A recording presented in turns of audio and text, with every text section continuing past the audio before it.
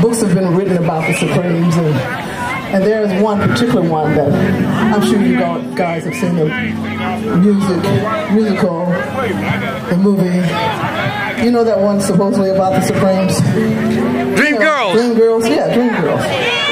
But see, it's not really about the Supremes. I know because, well, I didn't get paid, so. but I know it wasn't about us. But anyway, it was a great movie uh, still, and really was based upon our lives. And one part in particular that I, I really enjoyed was that Jennifer Hudson got the Academy Award. Yep, yep. You know, and she kind of was supposedly be based lightly on Florence Ballard.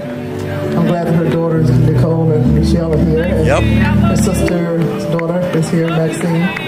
And uh, I'm very happy to say that even though the play was not about the Supremes, the Florence Ballard part was so touching. And I know that if Flo was still alive today, she would be here and she would sing this next song for you. And I know Flo would say,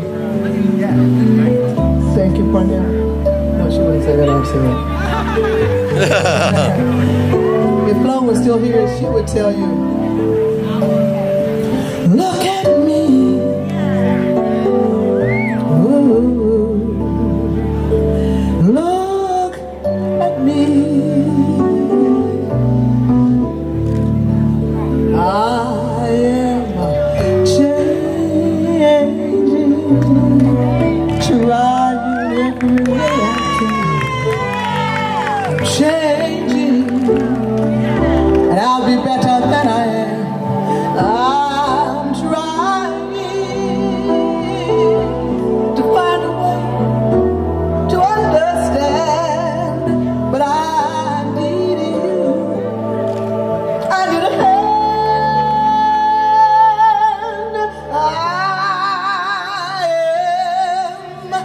changing.